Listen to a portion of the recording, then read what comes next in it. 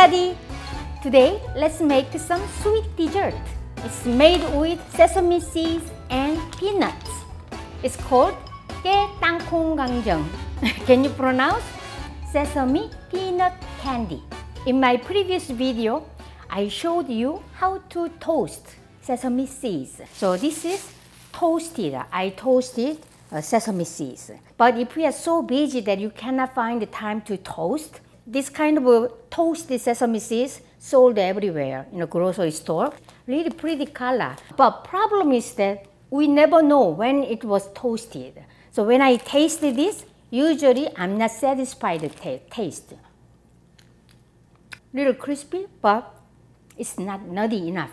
Just use this, but all you can do is just toast one more time at home.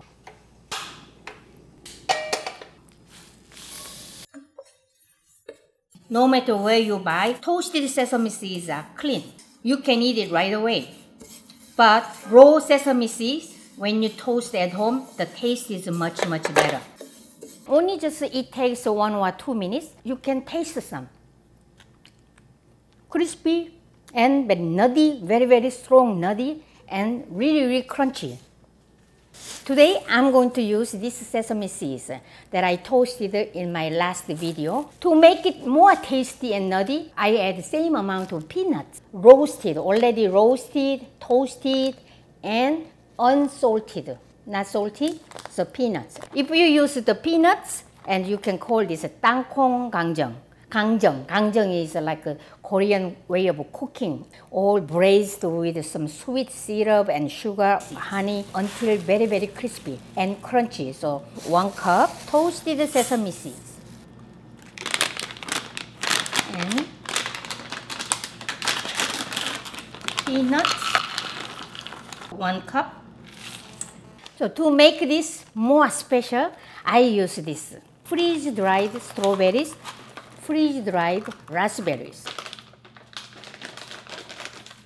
Cutting board, just uh, all spread this. And then also your rolling pin. So next, let's make a syrup. Gooey sticky syrup. I'm using white sugar, but you can use any brown sugar, quarter teaspoon salt.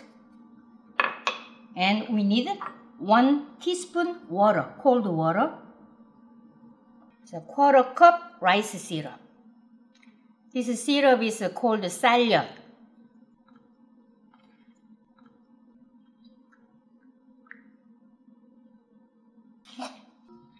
Low heat.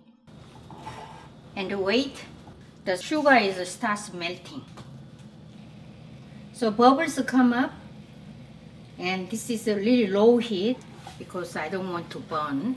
Sometimes you can lift and move around your pot like this and to melt this all the evenly. You should not burn this syrup and also the melt really evenly. Kind of you have so many jobs, so you can't think about something else.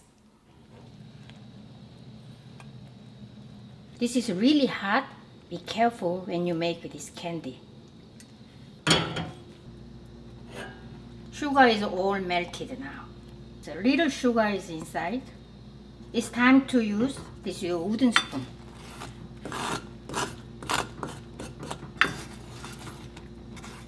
Keep stirring until you see the kind of a thread.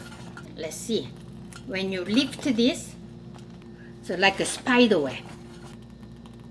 Oh, I saw that thread.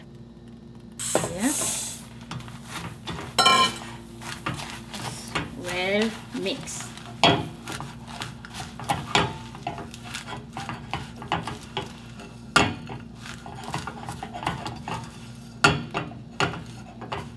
So make one lump, nice lump. Okay, let's go.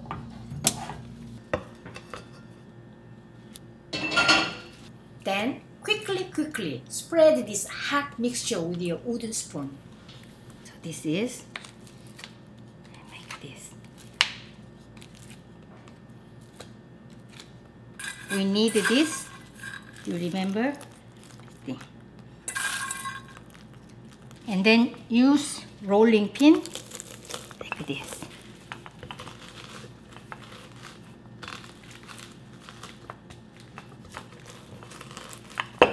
All the this is uh, when it's hot you need to handle this like that. And then use your hand. It's not very hot.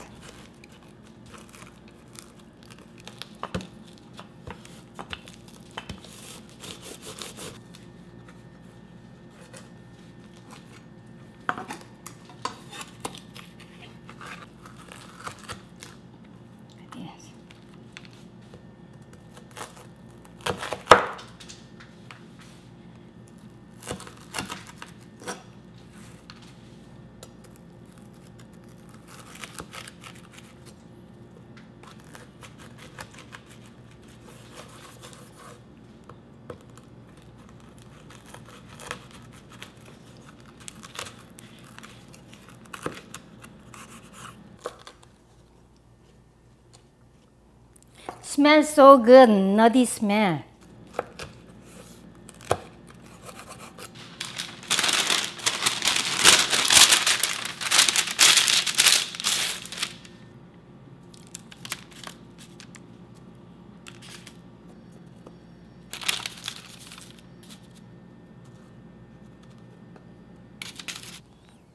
Ask me if I'm happy. Of course, I'm so happy. When I make this cookie, so always happy because nutty and the smell so good already. And I know that I expect what it tastes like. Oh my God. And usually I make this, I'm not eating alone. Always I share this with other people, friends. Look at that, this big. it's yours.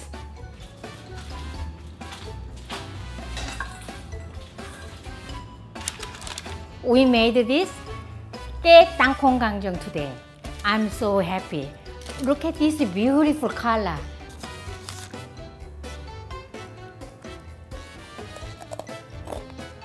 Mmm.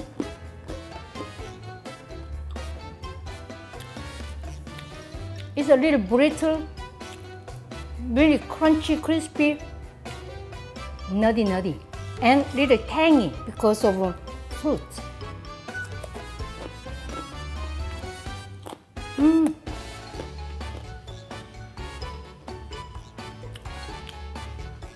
After you prepare all Korean meal, and then, hey, I have some Korean dessert. This is kkae-ttangkong gangjeong.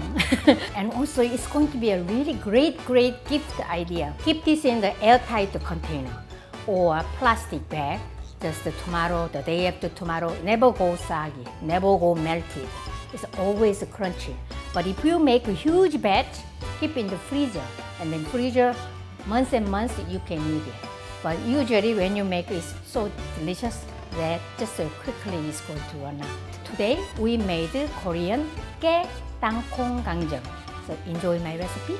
See you next time. Bye.